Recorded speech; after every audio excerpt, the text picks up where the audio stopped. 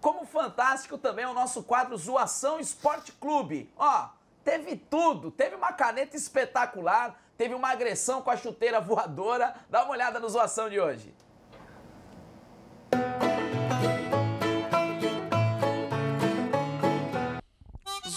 Zoação Esporte Clube na área, sempre cheio de alegria, mostrando as bizarrices do futebol. E são várias, hein? Mas vamos por partes. Começando com um belo gol de Miranda, do Atlético de Madrid.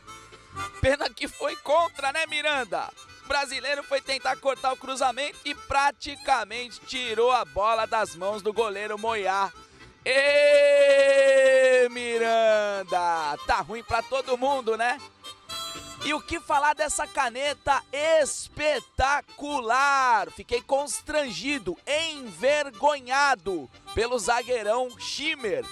Schimmer, isso aí foi no futebol húngaro. E o autor da proeza foi Emir Dilaver, do Ferencváros, da Hungria. Canetou bonito, garoto! E o técnico da Roma, Rudi Garcia, foi dar uma ironizada no juizão e se ferrou. Que é isso? Tocando violino? Foi expulso, né, amigão?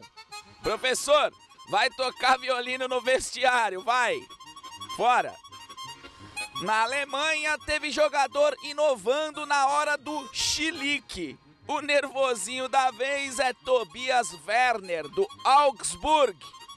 O cara se irritou com bandeirinha por não ter marcado falta e atirou a chuteira no belga. Ai, essa doeu, hein? Ah, isso tudo só pode ser zoação.